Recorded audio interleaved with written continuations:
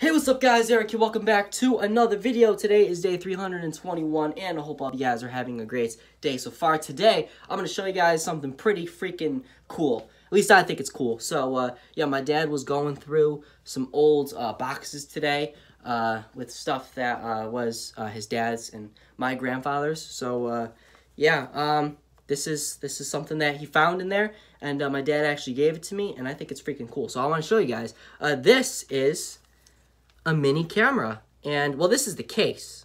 Uh, inside is the camera. So, uh, yeah, there's even, like, a little strap for this thing. So, pretty freaking uh, awesome. I'm going to show you guys the actual camera in here. This is This will blow your mind.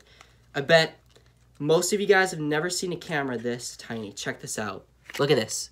This is a mini camera. And uh, it actually, it, if it takes film, uh, but if I don't have any film, but if I did, this thing would still work. So, um, yeah, uh, apparently this is uh, actually because my uh, my grandfather used to work for Kodak. Actually, most of my family used to work for Kodak, which is uh, a big company here where I live, and they used to make a lot of camera stuff and uh, whatnot. So uh, yeah, this was my grandfather's, and um, I think it's pretty cool.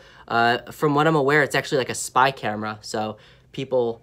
like in the government or something would use it, but I think it's pretty pretty awesome. You put the film in down here, uh, which I don't have any film right now, but uh, you put it in there, and then uh, this little lever on the side over here is uh, what you click to take the picture. So, I don't know, I just thought it was pretty cool. I wanted to show you guys. Uh, if you've ever seen anything like this, comment down below. If you haven't, uh, also comment down below, because I, I just think it's cool. Like, I've never seen a camera this freaking tiny, but, uh, yeah, um, I don't know. I just think it's cool because I love anything that has to do with cameras and film. Um, it's pretty sad that uh, even something like this, even something this tiny, is built like so well.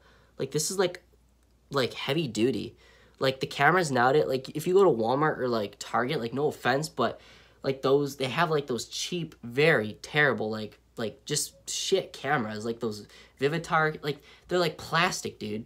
Like this is this is back when they used to make things like with like craftsmanship and like quality. So I just thought it was pretty cool, guys. Drop a like.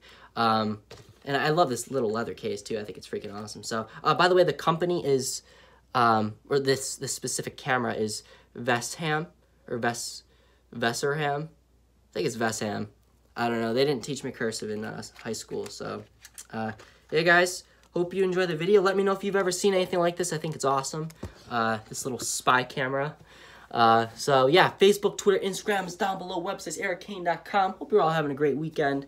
Just thought I'd show you this little trinket that my dad found uh, in the basement today. So um, actually, garage. We had a lot of boxes.